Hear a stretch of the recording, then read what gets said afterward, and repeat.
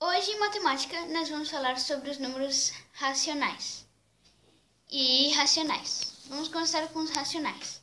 Bem, os racionais são todos aqueles números que podem ser representados em uma fração. Exemplos: números inteiros. Por exemplo, 2, é, 3 e 4. Não. 10. Eu posso representar o 2 como o quê? 2 sobre 1.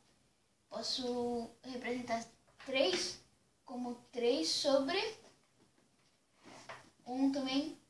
Eu, eu posso representar o 3 como sendo? 6 meios. E eu posso representar o 10 como sendo 10 sobre 1, 1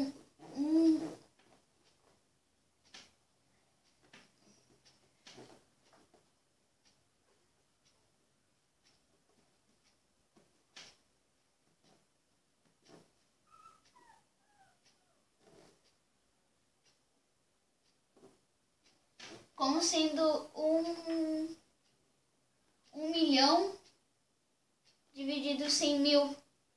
Que eu vou começar a cortar os zeros e vai sobrar um zero. Vai ficar 10 sobre 1. É a mesma coisa. E...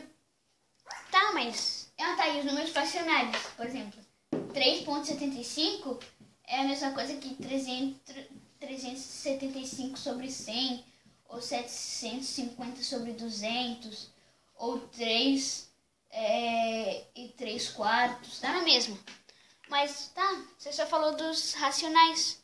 Mas tem os irracionais, que são, por exemplo, π, que é 3.14